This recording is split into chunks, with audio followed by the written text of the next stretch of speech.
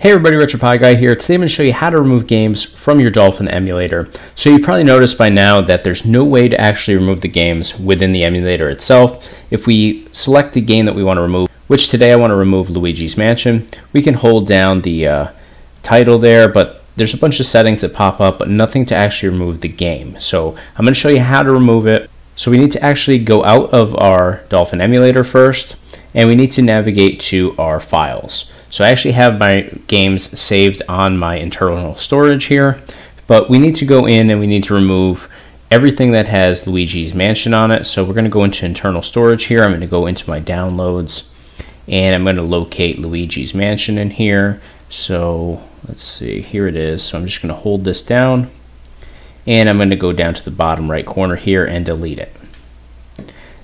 I also need to go into my downloads folder and delete it there as well.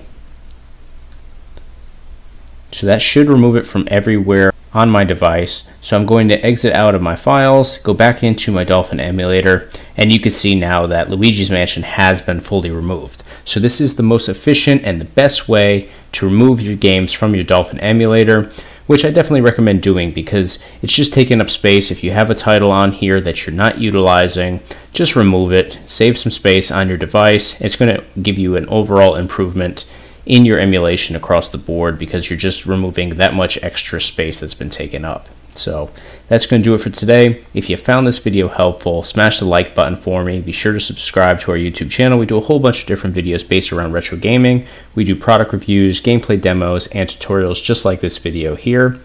And of course, check us out online on our website, www.retropieguy.com. Thanks for watching.